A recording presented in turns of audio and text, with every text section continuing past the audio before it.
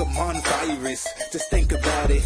Words leave you coughing, flow leave you wheezing, sneezing. That just proves I'm colder than a sneasel. Pass me. Hello, Retro Bro here, giving you a Pokemon Showdown NU tier subscriber battle against my friend Crimson. So, looking at his team for here, it's actually a real nice variety of Pokemon. Kangaskhan is not too bad in NU, you don't see it often, so it's pretty cool to see. And he opened with Golem. Now, the reason I opened with Weezing was because I assumed that possibly Lilligant or Golem would have came out being the weakness policy set, which is the set you guys probably seen in a few of my other videos. Anywho, he won't be able to earthquake here, so that's a good thing. Kind of wanted to scout out for that before deciding to switch from Weezing, and it looks like he's going for the stealth rocks. Also, at this point, the sturdy is down, so we'll go ahead and hit him hard and not worry about the weakness policy from where his current health is.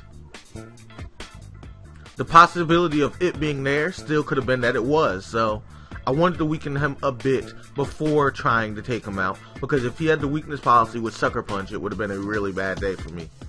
And I didn't want to defuse that bomb. Alright, from this point on, I will switch to Weezing to try to wall it. However, Lilligants usually have sleep powder, so he will be taking the bullet. In hindsight, I should have had a grass Pokemon on this team. Something I normally do, but I did not do this time. So let's go ahead and go to Flareon now.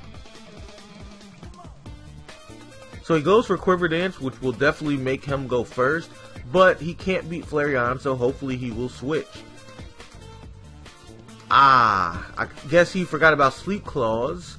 So luckily for me, Sleep Powder fails, and I get the kill.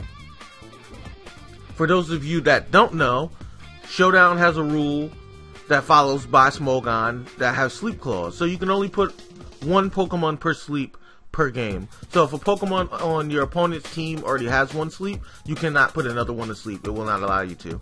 Just future reference for all you future Showdown players who want to learn some of the format and some of the Smogon rules if you don't already know them.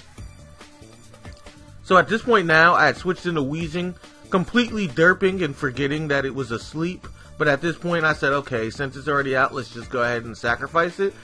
After realizing that there was nothing else I really wanted to switch into artillery, and that Weezing really didn't do much to his team. Now from here, Kadabra should be able to kill with an Energy Ball. And it does magnificently, as expected because Kadabra is hard body. Dusclops definitely has the Shadow Sneak, but I wanted to check the Shadow Ball just to see how it would hit. I figured Dusclops would be physically bulky, but it was actually, to my surprise, especially defensive, which wasn't what I expected at all. So, my prediction here is to possibly go into Linoone, predicting another Shadow Sneak, but no, I actually went into Wartortle, which was a terrible play on my part.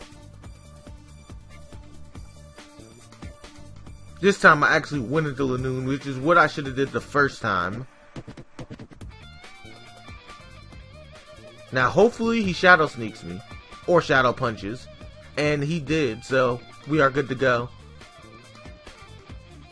The last time would have been a better play because it would have been a prediction off the previous Pokemon. That time I just got lucky and it was a misaccount of him knowing that normal does not hit Ghost.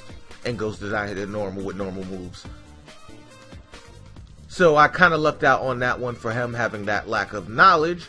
But as you see, he has the Pyroar here, which outspeeds, well, everything. And that will actually be good game for me because nothing I have outspeeds this thing. And with Moxie, well, that's it. So there were a few mistakes here and there, but overall, it looks like he came out on top and there's nothing I can do about it. So nice job, Crimson. You got me.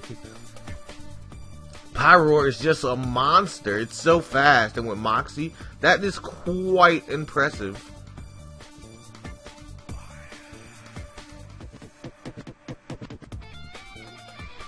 You know, now that I think about it, considering Accelgor was faster, maybe I should have played Final Gambit.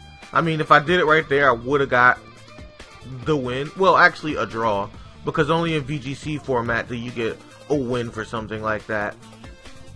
Anyhow, great battle, man. It was a pleasure battling. We'll battle again sometime. And as usual, if you guys like these type of fights, just like, comment, subscribe. Tell me in the comment section what other type of tiers or formats you want to see. I'll try to learn them. I'll try to earn my medal. And I will try to do a couple of different interesting things so it's not boring. And we're doing a lot of stuff because Pokemon is a big game. It's a lot of different formats, a lot of different things to learn. And Showdown has a lot of different formats too. And as usual, I've been Retro Bro, and I'm signing out.